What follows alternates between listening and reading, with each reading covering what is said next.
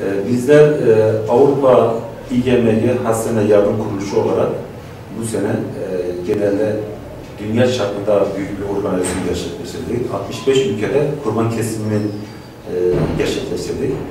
Bunun 50 binini Türkiye'de, geri kalanın toplam e, 125 binden 50 binini Türkiye'de yapmaya çalıştım. Elazığ payına da ben şu anda Elazığ'ın e, gönüllü gözlemci olarak bulunmaktayım ve 15 büyükbaş e, hayvan olarak e, kurbanını kestik.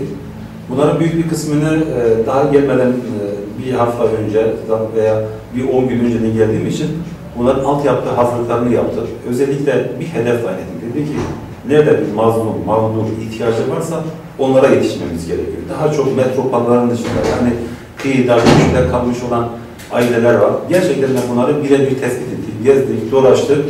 E, bunları tespit ettik ve bu yardımları en güzel şekilde ulaştırmaya çalıştık. Bunlarla tabii malumunuz bir sene önce e, Elazığ'ın Kovancılar kazasında büyük bir deprem meydana gelmişti. Depremin üstü de Kovancılar olduğu için Kovancılar ve çevre köylerinde bu yardımı gerçekleştirmeye çalıştık. Yaklaşık olarak e, Kovancılar ve civarında 300 aileye ulaştı. Ve bunun yanında yine bazı dernek, kurs ve vakıflara e, ulaşmaya çalıştık. Allah kabul etsin ve özellikle burada belirtmek istiyorum. Kovancılar ve Palu'da İhya Der e, bizlere çok yardımcı oldular. Ulaşımda, dağıtımda.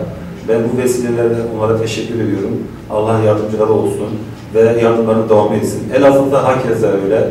Yine İhya Der ve ona benzer sivil toplum kuruluşlarının öncülüğünde e, değişik e, kurum ve kuruluşlara, vakıflara bu yardımlarımızı yetiştirmeye çalışırdım. E, yani kısacası çok e, mutluyuz. Nedenine gelince e, en güzel şekilde bu yardımları yetiştirmeye çalışıldı. E, hatta istedik çok daha Elazığ payına fazla olsaydı fakat bu imkansız olmadığı için yani gönül arzu ederdi bir o kadar daha olsaydı daha da sayılırdı. Avrupa'dan hastane üstüne getirmiş olduğumuz kurbanların e, bu kurbanlar biliyorsun kesim Urfa'da yapılıyor. Akşam e, soğuk hava depolarından yani tırlarla geldi. Allah razı olsun özellikle Kovacılar'da İHA'ler bayağı bize yardımcı oldular. Bir kısmını biz burada tabii bıraktık, bir kısmını da Konya'ya yolladık. Diğerini de Elazığ'a yolladık.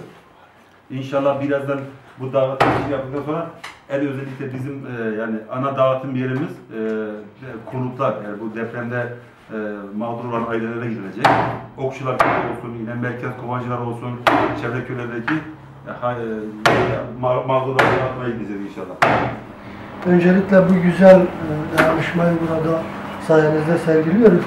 Özellikle Avrupa'dan e, yardımlarını buraya gönderen ve bu kardeşliği, bu e, paylaşmayı bizimle beraber sağlayan kardeşlerimize teşekkür ediyoruz. Evet. Allah-u Teala hayırlarını kabul etsin.